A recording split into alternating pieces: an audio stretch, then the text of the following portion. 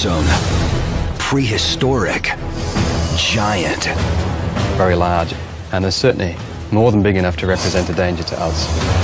And the secret to even larger size may lurk in their ancient DNA. Code for a truly monstrous Croczilla. The propensity to become a giant is always present in the crocodilian lineages. I think the conditions are ready right now for a super croc.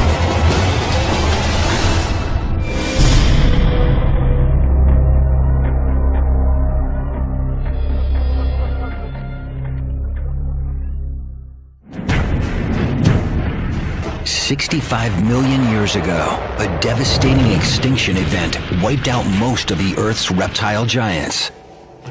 Today, one massive bodied beast remains. They avoided the extinction that nipped the dinosaurs in the bud, leaving only birds as descendants. It's really an incredible success story. They're one of evolution's most incredible survivors, revered by some as gods reviled by others as man-eaters. So never underestimate a crocodile in the water. If you get too close to it, then really, that's the end of it.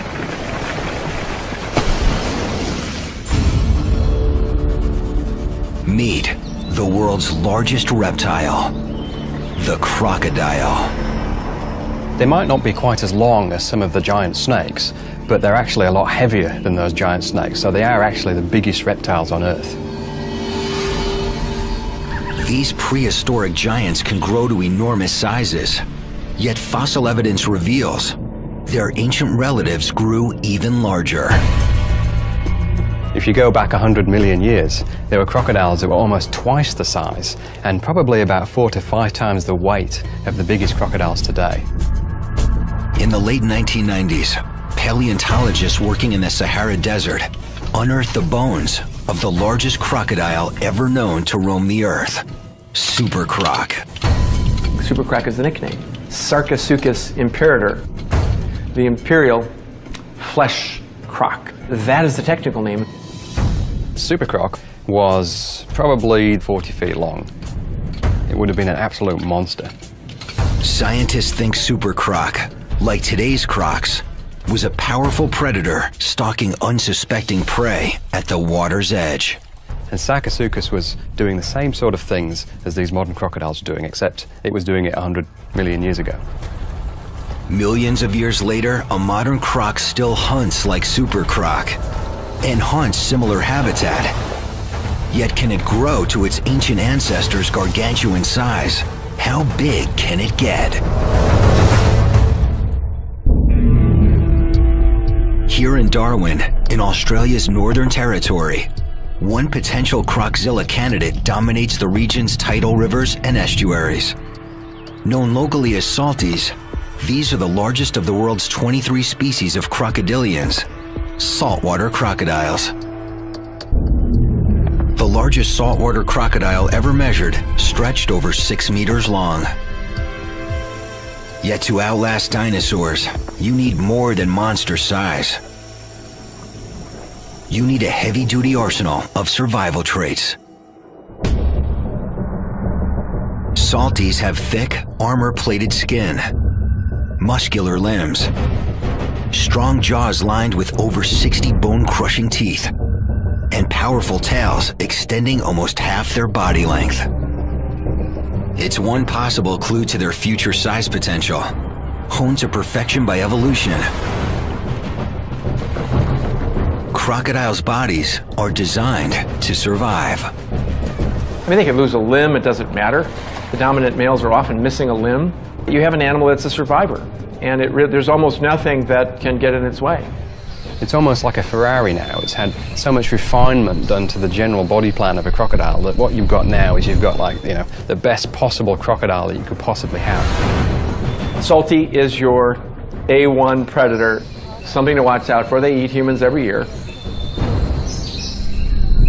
Very large, and they're certainly more than big enough to represent a danger to us. News accounts report lethal attacks. In rural Darwin in 2009, while swimming with her sister and two friends near a swamp called the Black Jungle. An 11 year old girl vanishes. Police mount a ground search for the girl. Helicopters scan the bush from the air. The next day, they find her remains. Bite marks indicate her killer was a crocodile, measuring about three and a half meters. Trained crocodile catcher Robbie Risk was part of the search team. That was a really emotional event. And that took about a day to, um, to find any remains. When we did, you know, it was something that, you know, you don't, you know, you don't really want in your head. Groups of armed officers scour the area, setting traps throughout the floodplain, but they never find the culprit croc. Though attacks like this are rare, salties probably kill about a half a dozen people a year. Yet officials estimate there are up to 150,000 of them moving from rural tidal rivers into Darwin waters. The unique thing about Darwin is that it's essentially a city that's situated right in the middle of crocodile habitat. And as they spread to urban and suburban areas, the odds of attacks on humans may be increasing exponentially. If most crocodiles in the tidal rivers here didn't move, they'd get killed by other crocodiles. There's just not enough food and there's not enough space to go around. And this is why you've got saltwater crocodiles moving along the coast towards Darwin. And more and more crocodiles every year are found in and around Darwin. And obviously the potential for disaster is so much higher.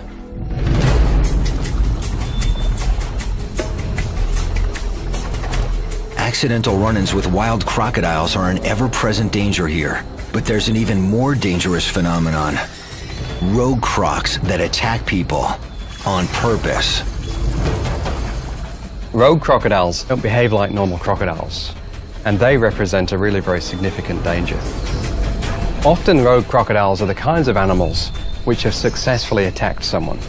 They realize how easy it is, and then they try and do the same thing again. And very much unlike other crocodiles, which tend to stay away from people, rogue crocodiles will try and seek people out. Uh, rogue crocodile is a problem crocodile. It's just got attitude and does, you know, wants to kill everything really.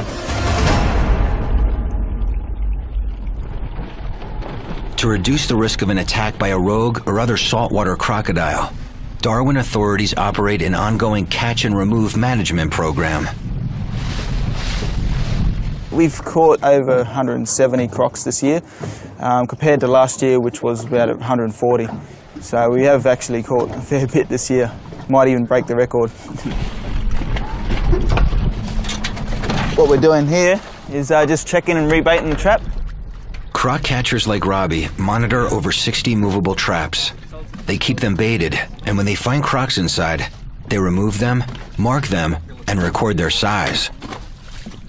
The largest salty Robbie's ever caught measured over 4.5 meters. But any size croc can do some damage.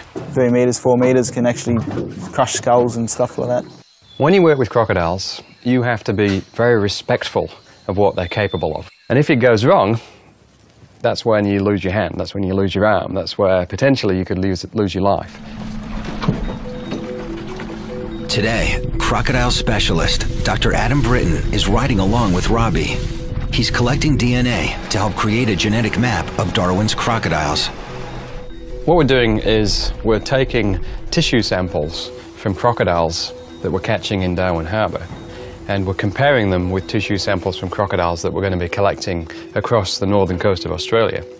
And what that's going to do, hopefully, is tell us a little bit about where the crocodiles that are moving into Darwin Harbour are actually coming from. Dr. Britton's map may someday pinpoint a breeding colony of giants. But for now, his research is geared toward keeping the peace between humans and a potentially deadly crocodile species.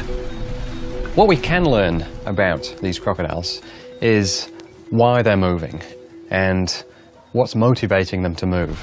And if there's a risk of crocodile attack, then you have to try and reduce that risk. And hopefully we can figure out how to make it safer for people. And then people will be more likely to put up with crocodiles that live on their doorstep.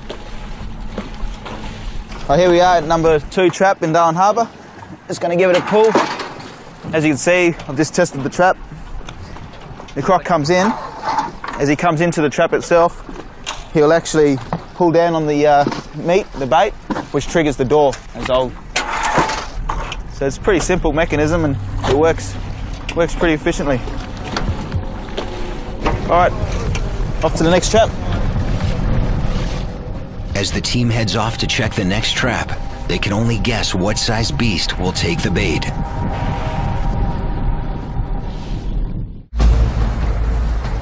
A crocodile can grow as long as it lives. It's another clue to their future size potential. When most creatures mature, they reach a maximum size and growth stops. But crocodile size has no limits. It's a phenomenon known as indeterminate growth. In captivity, with a steady food supply and fewer survival challenges, crocodiles may be able to live longer and grow larger than crocs in the wild. These animals pretty much grow until the day that they die, so it is uh, possible that these animals are going to reach much greater sizes in captivity than they normally would in the wild. One of the largest captive crocs ever recorded, a saltwater crocodile named Gomek, lived here at the St. Augustine Alligator Farm Zoological Park in Florida. Gomek maxed out at over 17 feet, weighing nearly a ton. He became a main attraction, drawing audiences to his feeding shows in droves.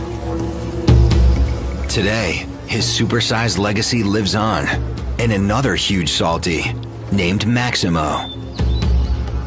So he's over 15 feet long, 1,200 pounds. He's an incredibly powerful animal.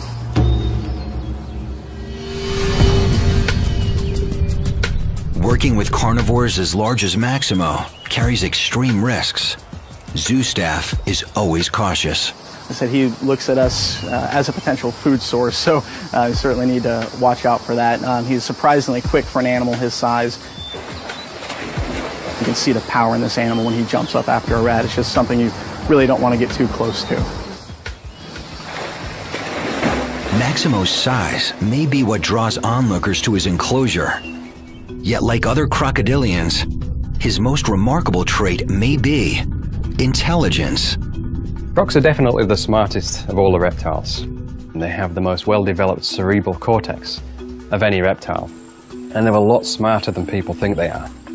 Crocodilians have a reptile-sized brain. I mean, it's literally the size of a walnut. And yet, they are incredibly smart animals for what they need to do. And some of what they do is pretty spectacular. In the wild, crocs seem to have an eye for detail. They can read their surroundings and respond by changing their behavior. You can go into an environment, be observed by crocodiles that you never see, and you will never see them again. They didn't see you. They, they didn't like the way your clothes were. They didn't like the way you moved. They didn't like your boat. They hadn't seen your boat on the river. They noticed something was up. You will never find them again.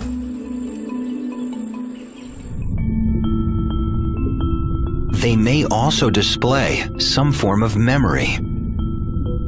To be a crocodile, you want to know where the best place to hunt is going to be on a day-to-day basis. And you can't just stumble upon it every day. You have to remember, you have to learn. And here in captivity, some crocodilians, like this alligator named Bomber, seem to show thinking. You tap him on the snout, he'll open up, throw a nugget of food in there, and he'll slam shut on. He gets a meal and somehow realizes that you want him to do that. The first time he'll do the trick just fine. The next time he'll move back about two inches. The next time about four inches. So he'll keep moving back. And what he's doing is it seems to be that he's trying to lure you into the water to the point where you'll fall in. And God knows what he wants to do with you from there. This animal is thinking. I mean, this is, this is a learned behavior.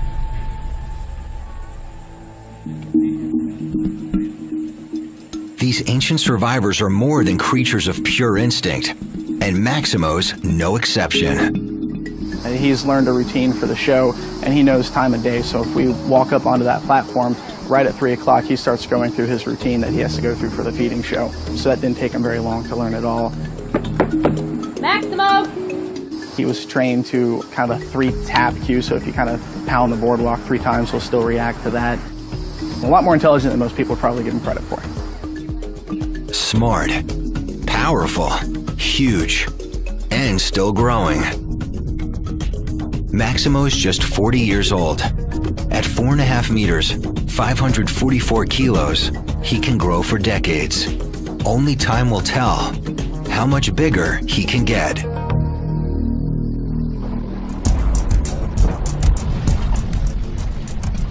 It looks like we've got a croc in this trap. Yeah, be about two and a half meters.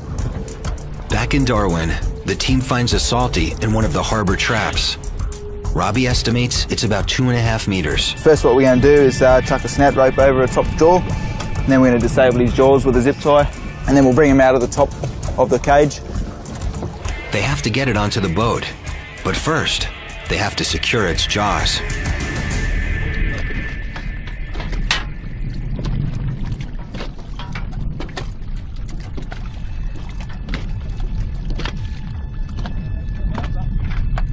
Get the croc to open its mouth, the croc catcher taps it on the snout. He slips a snout rope around its upper jaw.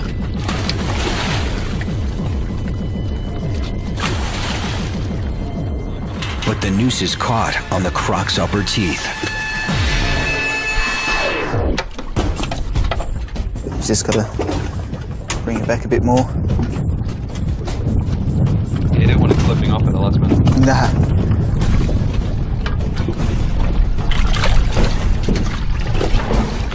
Finally, the noose slips over the teeth and into position around the upper jaw. Now I'll jump on the trap and I'll disable the jaws with a zip tie so we don't get close enough to the croc ourselves.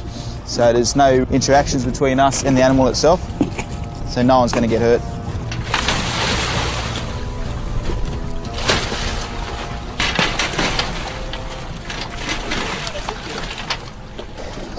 So now what we're going to do now is just duct tape his jaws together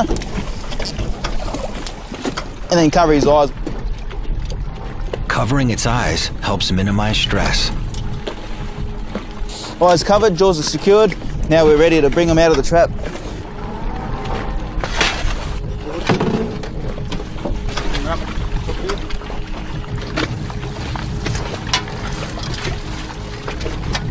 And just securing his back legs where they get most of their power from.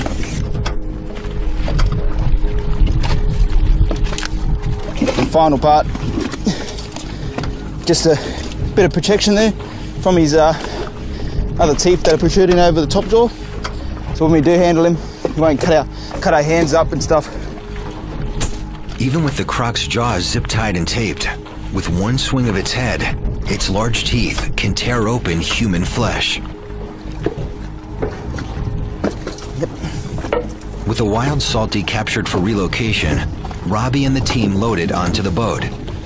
Stop. Beautiful. When the croc's secure, the team ties new bait, resets the trap, and heads off to check the next one.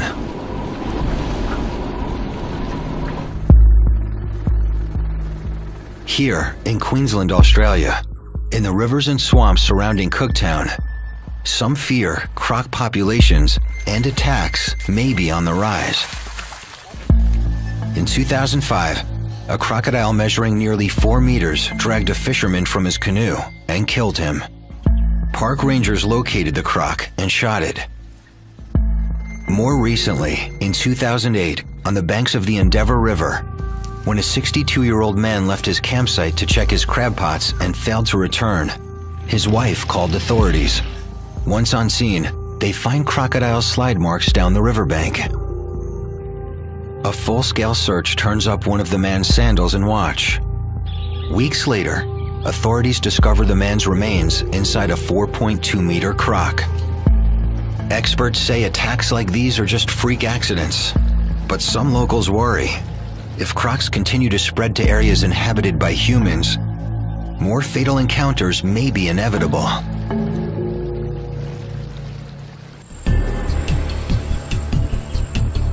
In Florida, at the St. Augustine Alligator Farm, biologist Dr. Gregory Erickson is studying a crocodile's main predatory tool its bite. We're trying to understand uh, what makes these animals tick. We're interested in uh, how the musculature and the, and the mechanics of the jaws allow them to generate their bite forces, and how the shapes and sizes of the teeth contribute to the pressures that these animals use to make a living. These are our bite force transducers. When it bites down on this, it's going to exert a force, and this is a four sensor device, like a good bathroom scale, and it's going to send out uh, a signal uh, to a charge amplifier that's going to record the bite force. He starts by prepping a specially designed bite force meter. The meter's leather pad as it doesn't hurt their teeth. Uh, and as soon as you touch one of their teeth, it, it, it triggers uh, a snapping bite, is what we call it, and they'll slam down, uh, apparently with as much force as they can possibly generate, and we'll get a recording instantly of what the maximal bite force was. I'm not exactly sure what this Nile crocodile is going to do. They, they tend to be uh, rather surly animals.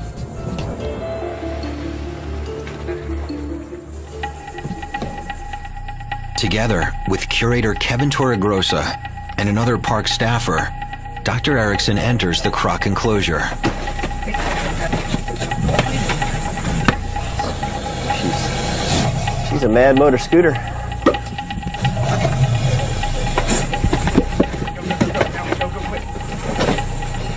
The crocodile fights, rolling and wrapping itself in the rope. But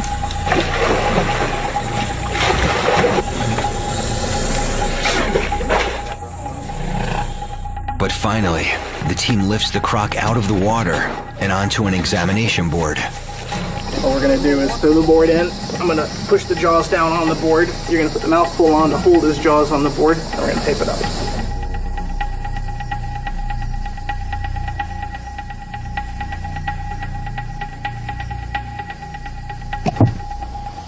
I hate that part.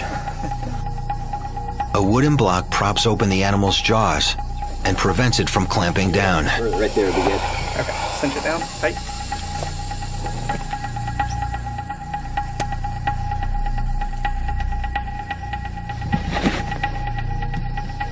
What I'm doing is I'm taking dental putty. It's essentially the same material your dentist uses to cast your teeth when you're going in for dental work.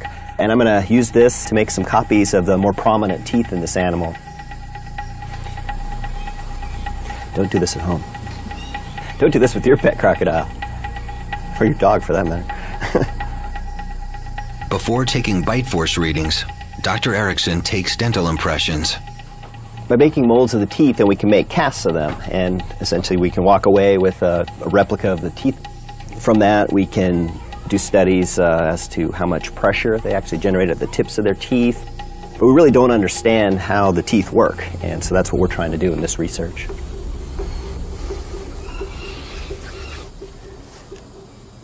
Hate doing this. It's, um, it's not a natural thing to do to put your hand in the mouth of a crocodile. It's for the cause, I guess. This will set uh, in about five minutes, so we'll be able to pop that right off and hopefully get this animal back in the water as soon as possible.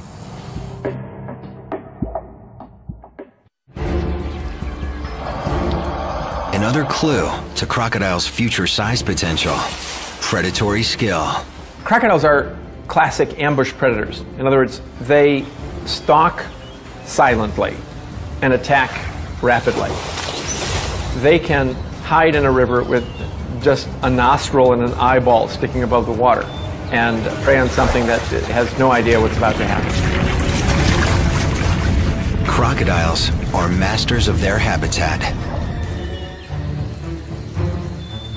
To hunt, they often just sit and wait. All animals have to have water. And so you've got a constant source of food coming to you, and all you have to do is get good at catching it. It doesn't really matter who the players are coming to the water's edge. The crocodile doesn't care as long as it's a meal. Hidden with its eyes, ears, and nostrils sticking just above the water's surface, a crocodile can use its powerful senses to home in on prey. They have these pressure receptors around their jaw, and literally, they can detect changes in pressure through the water. They have an excellent sense of smell. They can smell animals and prey from quite a long distance away, and it could be several kilometers away. Their hearing's actually better than ours at low frequencies, and so they can hear the rustle of footsteps, they can hear animals moving through grass. Their eyesight is excellent too. They've got full color vision and they can see at night very effectively.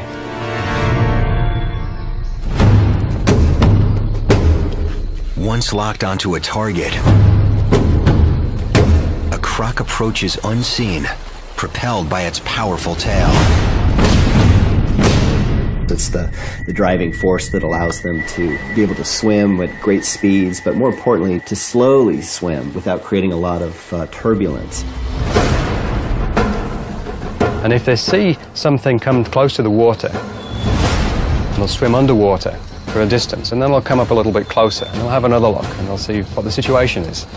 And they'll keep getting closer and closer, and all that prey item has to do is get sufficiently close to the crocodile, and as soon as that happens, bang, that's it, it's all over.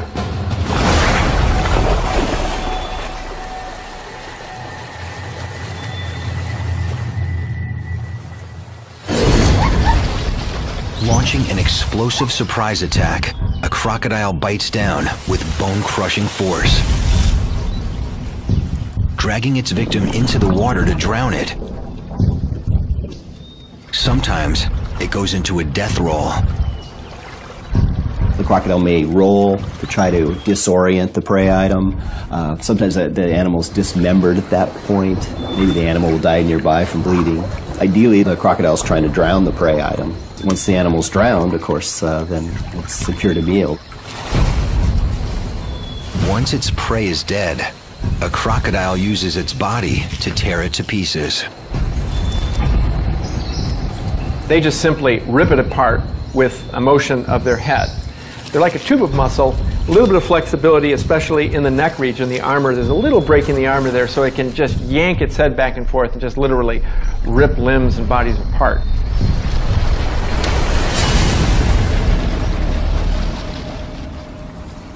Gravity helps it swallow.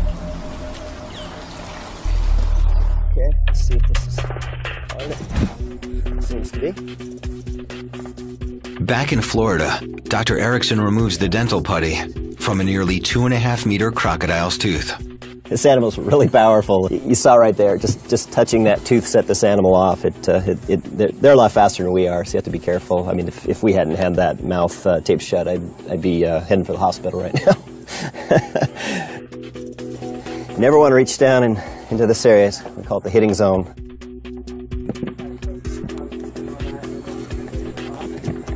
Got a really nice mold here of the molariform teeth as well. And so we'll take these back to the lab and we'll make some replicas of this crocodile's teeth. With molds removed, Dr. Erickson prepares to measure the croc's bite force. Here we go. Oh, missed it. Just missed it. Okay, so what happened? Here's the, the croc saw the bar coming They in. try again, hoping for a more direct hit. Stem here as well. We'll just have to- All right. 375. Yeah, this animal's starting to, to tire a little bit, and so that's probably all we're going to get. Roughly 400 pounds of force. With full energy, it's potentially capable of even greater forces. And as it grows, so will its bite.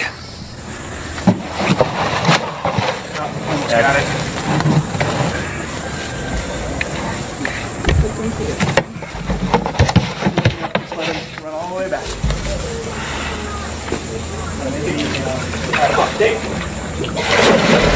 Good job. Back to his corner. As the team releases the croc, it races off. Dr. Erickson will take his molds, bite force readings, and measurements back to the lab for analysis. With the, the bigger crocodiles, such as uh, the saltwater crocodiles, we're getting numbers approaching 4,000 pounds. Almost twice what we see in uh, the spotted hyena, which is the bone crushing champion among mammals. It's also twice as high as what you see in the Bengal tiger or an African lion. Over 1,800 kilos of force eclipses any animal on the planet.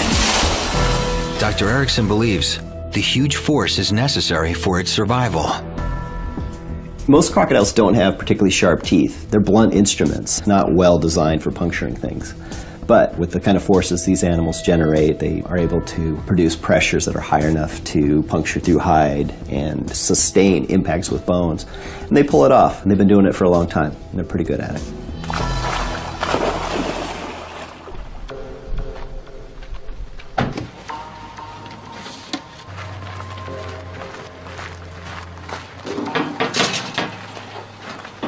Back in Darwin, after finding a second croc in a harbor trap, Robbie and his partner transfer their catches to a truck.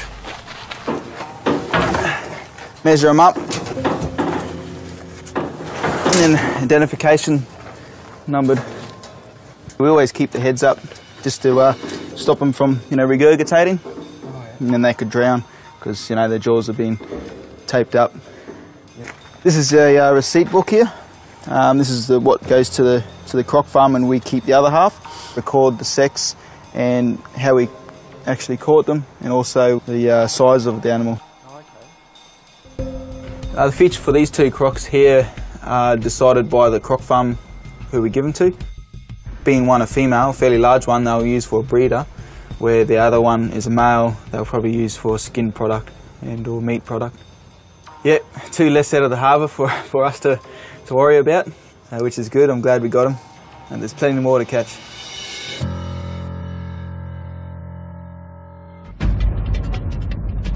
Another clue to crocodiles' future size potential? They're one of nature's most adaptable animals, capable of feeding on a wide range of prey, from small fish to beasts as big as kangaroos.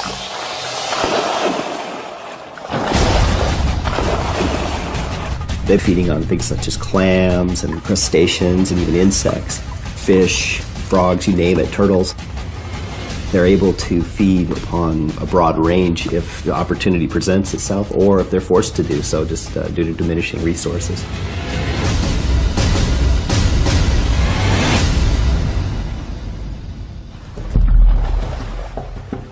Crocodiles can also adjust their behavior to their environment, especially if they locate a good food opportunity. And when crocodiles see an opportunity, they'll come back the next day, and if the same opportunity is there, they'll come back the next day, and they will learn very quickly that this is the place to be if you want to have any chance of catching food. But they can do even better than that. They can learn timings. They can learn, for example, that if a migration is happening during September or during April of a certain species of fish or a certain species of mammal, and that that's the best time to catch them, you can guarantee that a couple of weeks before it happens, the crocodiles will start migrating into that area. And if food isn't available, they can go months without eating. When they finally do eat, they use food efficiently, converting it into energy for growth. Crocodiles' extreme adaptability has helped them survive, while other species have gone extinct. Today, they remain the planet's last truly massive reptile. But recent fossil discoveries reveal a lineage of even larger crocodilians. In the 1990s, paleontologist Paul Sereno and a team of researchers stumble upon the find of a lifetime the ultimate killer zilla, Sarcosuchus imperator, super croc. Back about 15 years ago, I set foot in the Sahara. It was an exciting and very difficult expedition to try and open a, a Pandora's box of dinosaurs. But what was really eye-opening was the crocodiles. And in fact, the very first bone I found belonged to Super Croc. Then we found the skull. To see a six-foot skull, something that is longer than you are when you lay down next to it, and realize that that's, that's a crocodile, it is amazing. I mean, we marveled at it when we were in the field.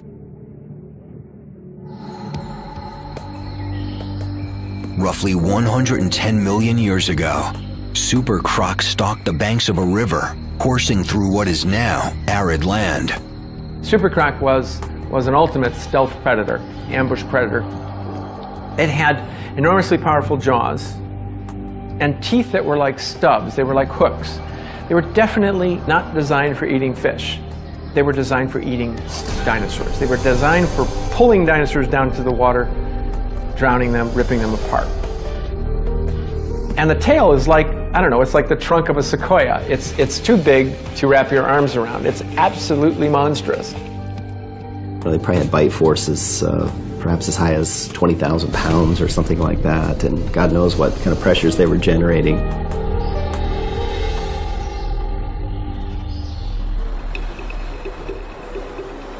In his lab at the University of Chicago, Dr. Sereno continues to marvel at Super Croc's fossilized skull. This is the most complete skull of, of a giant super croc ever found. It's six feet long, weighs about 700 pounds. The back end of the skull is here. Here's the two eye sockets. They're sort of raised up. Here's the snout. Here's the big opening for the nose. The animal is basically a magazine of teeth. This is the root. The dark part is the crown. This is the part that sticks out. This is a replacement tooth. So most of the tooth is actually in the jaw. When you put this into the skull, you realize that the snout is like a machine gun of teeth. There's teeth going down to each side, filling the snout. And they're being replaced all the time as they break off and wear. Just from the teeth, you can tell quite a bit about what, what the animal was eating. And this is not a fish-eating tooth. So this is the skull of a very large living crocodile. It's about two feet long, and this would be a crocodile that might be uh, 17, 18 feet long. Uh, you can see how it pales into insignificance compared to this monster super croc skull. But they're designed very similarly.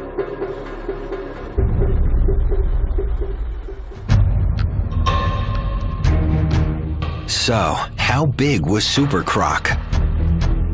They're about twice the size of the largest saltwater crocodiles, and probably somewhere in the region of about 10 times as heavy.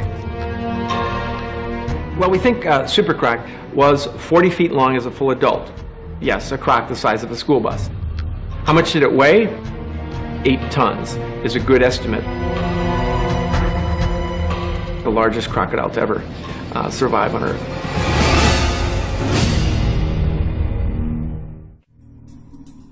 In Australia, croc catcher Robbie Risk and his partner are relocating two saltwater crocodiles from Darwin Harbor to a nearby croc farm.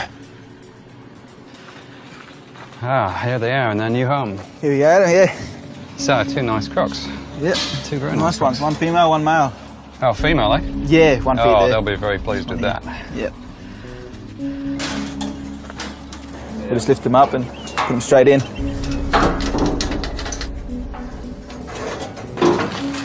three. I've got the light in. Nice. One, two, three. With the crocs off the truck, Robbie heads back to the harbor to continue his work monitoring the traps. Right, now there's a bit they're not going to like. Oh.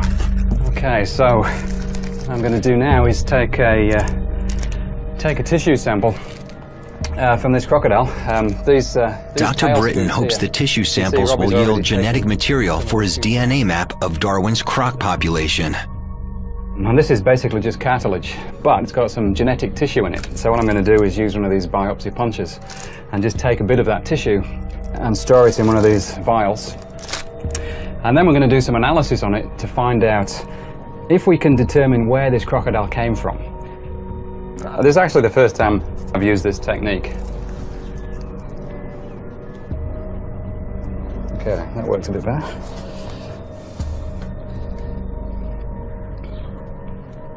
Obviously, uh, obviously stings a little bit, but for these crocodiles, they've got such thick skin. It's probably a bit like us having an injection. So that's the sample I've taken. Just basically a hole through the scute, and it's just connective tissue, really. But we can get some genetic information from this. Stick it in there. So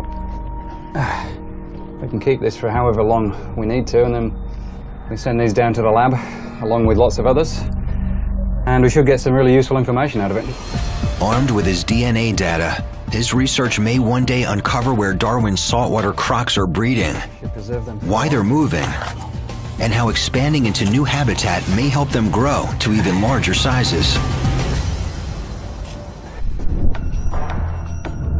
With bodies built to survive, predatory expertise, indeterminate growth, and extreme adaptability, can today's saltwater crocodiles become tomorrow's super crocs? I think the conditions are ready right now for a super croc. In warm climates, the, the very largest river systems, I think, could support a huge crocodile. Temperature is certainly a factor for, uh, for growth. These animals do have a fairly slow metabolism, but if the weather's warmer, they're going to be eating a lot more. It certainly could help them grow a lot larger. Warming temperatures and large prey may drive crocodiles to even greater sizes.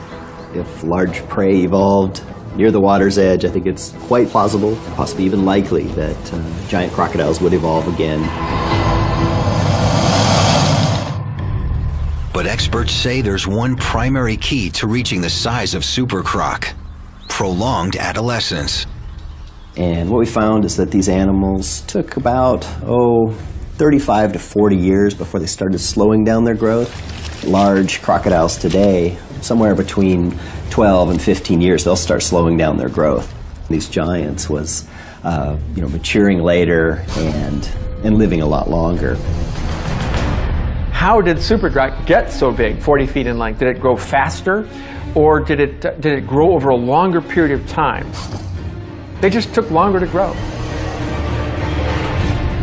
These giant crocodiles were growing at comparable rates to big crocodiles today. So they didn't necessarily grow faster, they just prolonged sort of their teenage years.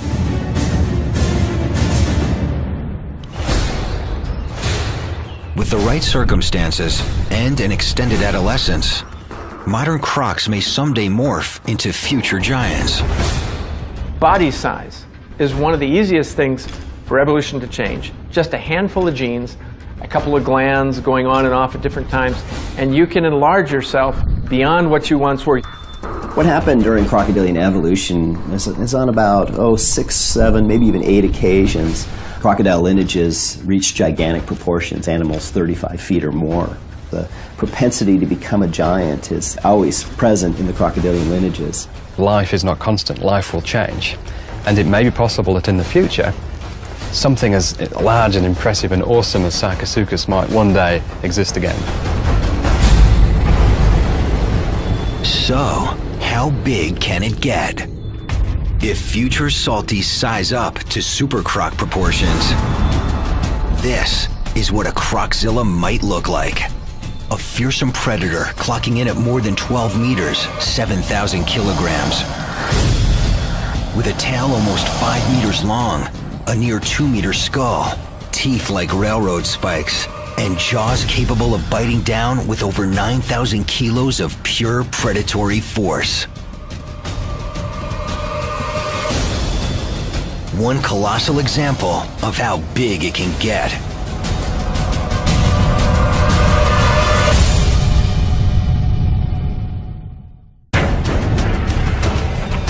They find her remains.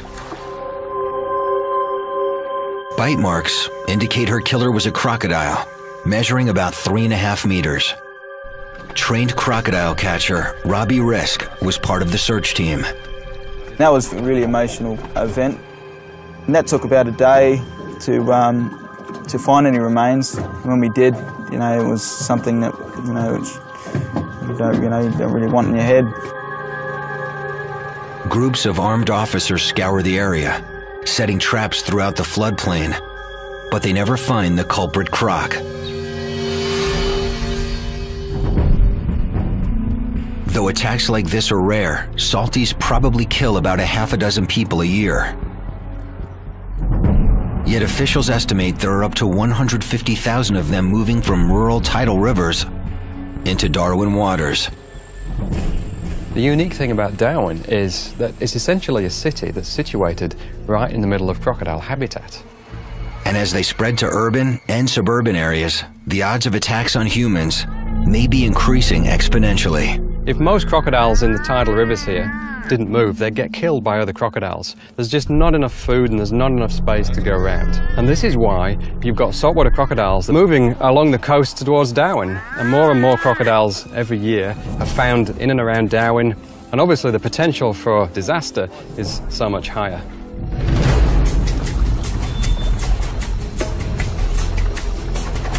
Accidental run-ins with wild crocodiles are an ever-present danger here. But there's an even more dangerous phenomenon. Rogue crocs that attack people on purpose. Rogue crocodiles don't behave like normal crocodiles, and they represent a really very significant danger. Often rogue crocodiles are the kinds of animals which have successfully attacked someone. They realize how easy it is, and then they try and do the same thing again. And very much unlike other crocodiles, which tend to stay away from people, rogue crocodiles will try and seek people out. Uh, rogue crocodile is a problem crocodile. It's just got attitude and does, you know, wants to kill everything really. To reduce the risk of an attack by a rogue or other saltwater crocodile, Darwin authorities operate an ongoing catch and remove management program was a powerful predator stalking unsuspecting prey at the water's edge. And Sarcosuchus was doing the same sort of things as these modern crocodiles are doing, except it was doing it 100 million years ago. Millions of years later, a modern croc still hunts like Super Croc and hunts similar habitat.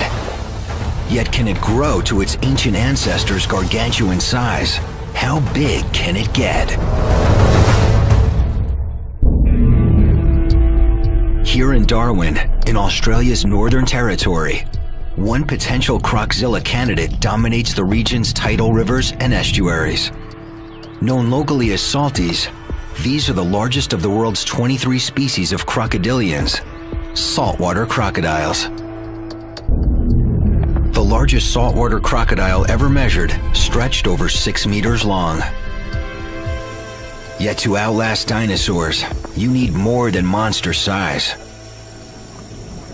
you need a heavy-duty arsenal of survival traits. Salties have thick, armor-plated skin, muscular limbs, strong jaws lined with over 60 bone-crushing teeth, and powerful tails extending almost half their body length. It's one possible clue to their future size potential, honed to perfection by evolution crocodiles' bodies are designed to survive. I mean, they could lose a limb, it doesn't matter. The dominant males are often missing a limb. You have an animal that's a survivor, and there's almost nothing that can get in its way. It's almost like a Ferrari now. It's had so much refinement done to the general body plan of a crocodile that what you've got now is you've got like, you know, the best possible crocodile that you could possibly have. Salty is your A1 predator, something to watch out for. They eat humans every year very large, and they're certainly more than big enough to represent a danger to us. News accounts report lethal attacks. In rural Darwin in 2009, while swimming with her sister and two friends near a swamp called the Black Jungle, an 11-year-old girl vanishes. Police mount a ground search for the girl. Helicopters scan the bush from the air. The next day, some prehistoric giant. Very large, and they're certainly more than big enough to represent a danger to us. And the secret to even larger size may lurk in their ancient DNA. Code for a truly monstrous Croczilla. The propensity to become a giant is always present in the crocodilian lineages. I think the conditions are ready right now for a super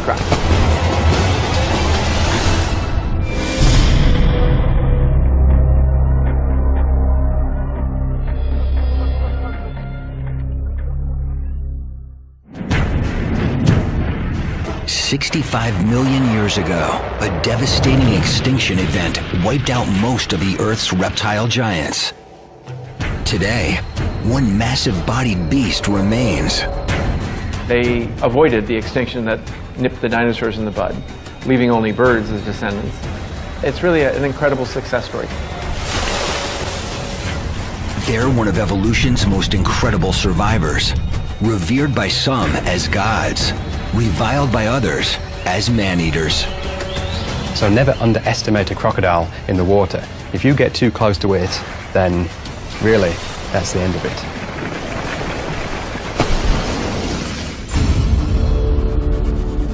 Meet the world's largest reptile, the crocodile.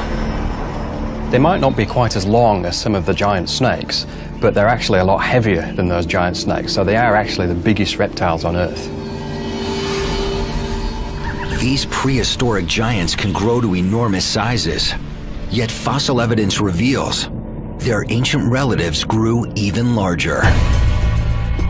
If you go back 100 million years, there were crocodiles that were almost twice the size and probably about four to five times the weight of the biggest crocodiles today. In the late 1990s, paleontologists working in the Sahara Desert unearthed the bones of the largest crocodile ever known to roam the earth, Super Croc. Super Croc is the nickname. Sarcosuchus imperator, the imperial flesh croc. That is the technical name. Super Croc was probably 40 feet long. It would have been an absolute monster. Scientists think Super Croc, like today's crocs, a crocodile can grow as long as it lives. It's another clue to their future size potential. When most creatures mature, they reach a maximum size and growth stops. But crocodile size has no limits. It's a phenomenon known as indeterminate growth. In captivity, with a steady food supply and fewer survival challenges, crocodiles may be able to live longer and grow larger than crocs in the wild. These animals pretty much grow until the day that they die, so it is uh, possible that these animals are going to reach much greater sizes in captivity than they normally would in the wild. One of the largest captive crocs ever recorded, a saltwater crocodile named Gomek, lived here at the St. Augustine Alligator Farm Zoological Park in Florida. Gomek maxed out at over 17 feet, weighing nearly a ton. He became a main attraction, drawing audiences to his feeding shows in droves. Today, his supersized legacy lives on in another huge salty named Maximo. So he's over 15 feet long, 1,200 pounds. He's an incredibly powerful animal.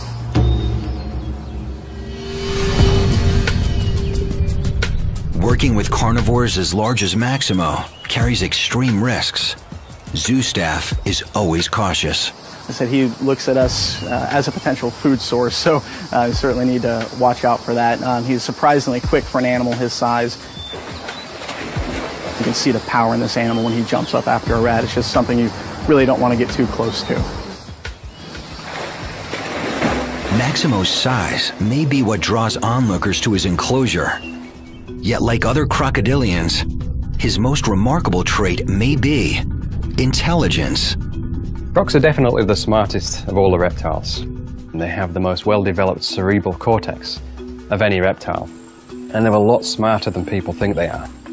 Crocodilians have a reptile-sized brain. I mean, it's literally the size of a walnut. And yet, they are incredibly smart animals for what they need to do. And some of what they do is pretty spectacular.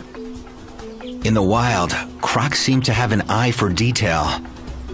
They can read their surroundings and respond by changing their behavior. You can go into an environment, be observed by We've caught over 170 crocs this year, um, compared to last year, which was about 140.